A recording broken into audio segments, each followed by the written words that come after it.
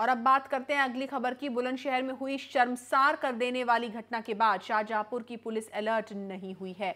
घटना के कई दिन बाद भी पुलिस अभी तक चौकस नहीं हुई है। नेशनल वॉइस की टीम ने एनएच का एक बार फिर से रियलिटी चेक किया, जहाँ आज भी लोग हाईवे पर यात्रा करने में खुद को अनसेफ महसूस कर रहे हैं।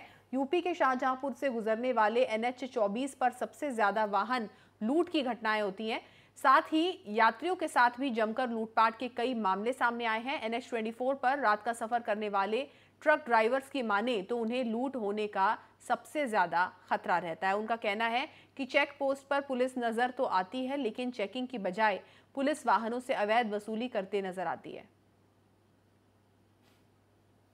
ये एडीजीएलओ महोदय द्वारा पूरे प्रदेश में अभियान चलाया जा रहा है, जिसमें सभी गजटेड ऑफिसर्स एसएसपी और एडिशनल एसपी और सीओ सभी को फ़ील्ड में निकलना है। मेनली हाईवे पे रहना है और हम लोग इसी अभियान के तहत आज पूरे ज़िले में निकले